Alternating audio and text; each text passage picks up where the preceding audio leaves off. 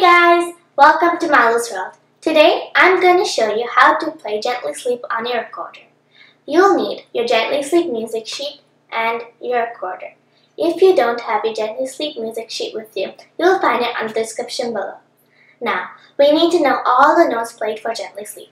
Those notes are G, A, and B. Now that we know all the notes played for Gently Sleep, let's play it.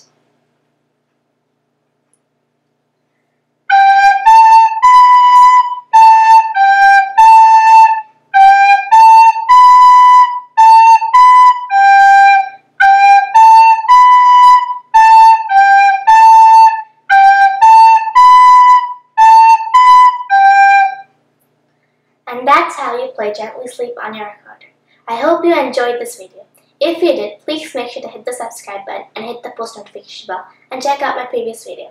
Until next time, bye!